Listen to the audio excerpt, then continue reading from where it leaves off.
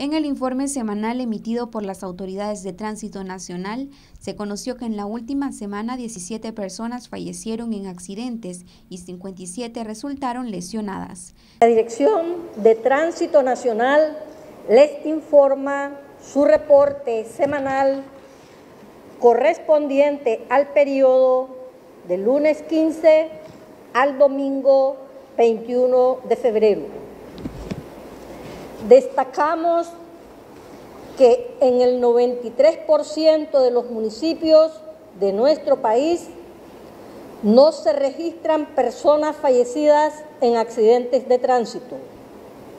Ocurrieron 825 colisiones. Resultaron 17 personas fallecidas y 57 lesionadas. En relación a la semana anterior, incrementó en una las personas fallecidas y en 66 las colisiones. Las víctimas, 10 conductores, 5 peatones y 2 pasajeros. Según Vilma Reyes, jefa de Tránsito Nacional, afirma que el exceso de velocidad y el estado de ebriedad son las principales causas que han provocado las accidentalidades. Las causas, cinco en estado de ebriedad, cuatro desperfectos mecánicos y dos no guardar distancia.